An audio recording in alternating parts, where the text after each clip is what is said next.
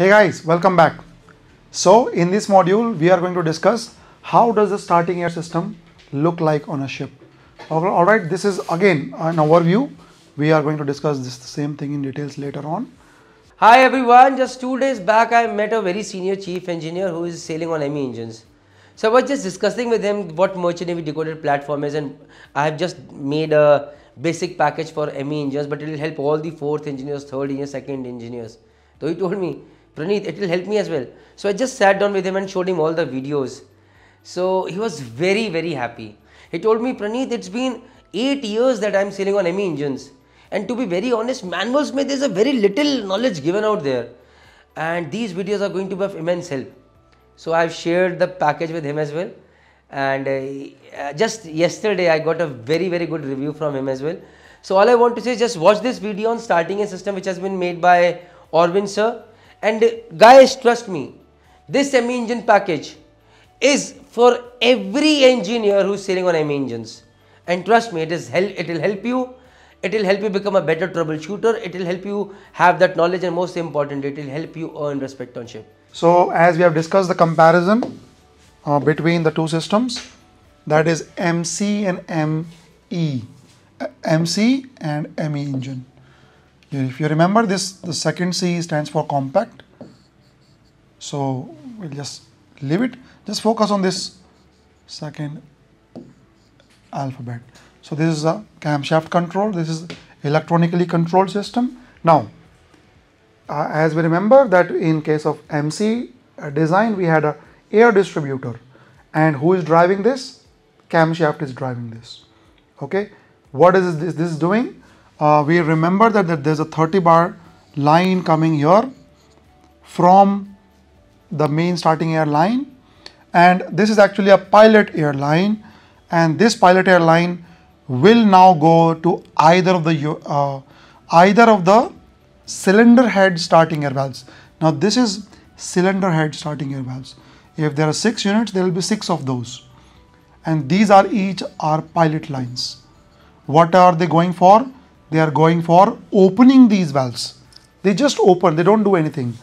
However, this main line 30 bar only coming from uh, main starting air valve this is waiting here and the moment pilot air goes it this uh, pipe will get the air flowing into the cylinder this is how the starting air system works now since we do not have camshaft in ME so what's the difference? So the difference is only in the pilot line by the way. Main line system remains the same. In the pilot line I don't have a distributor. So wh why not I put valves in each line a solenoid valve? Same thing they did. They put these solenoid valves or a combination of sol solenoid valve combination in each lines and each of them will be controlled by their individual CCU right? Whenever CCU wants they will open the starting air valve of that particular unit. All right? So easy. Moving on. Oh this is how it looks.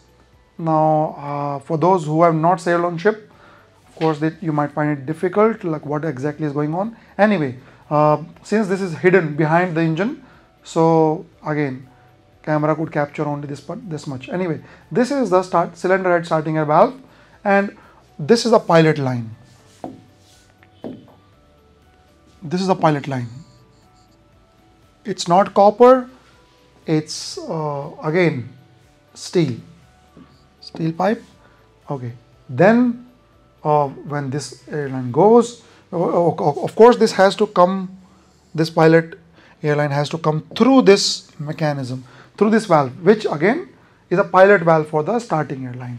So this is 30 bar line coming in here and the main line is here this main 30 bar line. So this main 30 bar will wait. This is a starting air. These are ports here. And valve will open. The moment I give a push from here this valve is going to get open. And once it is open this will take this shape it will open like this you get a space for this air that is coming from this line so this 30 bar main line is waiting here and the moment I give a push, valve opens and this air can go to the cylinder. This is how it is. This is the main 30 bar main line, main manifold you can say. This one is a pilot line. Alright, and what we are focusing in ME is this part. I give electrical signal, this is the electrical cable. I give a signal, this small pilot valve uh, which is helping this bigger pilot valve is opening and then it is going to open the cylinder starting air valve. Okay, all right. So we'll see that in details later on. I don't want to confuse you the working exact working of this part by telling that here itself. We can discuss the exact working here later on. But the time being, you understand electrical signal goes, this opens, 30 bar pilot goes and open the starting cylinder starting air valve. Where then the main air goes inside the uh, cylinder to push the piston down and start the or crank up the engine.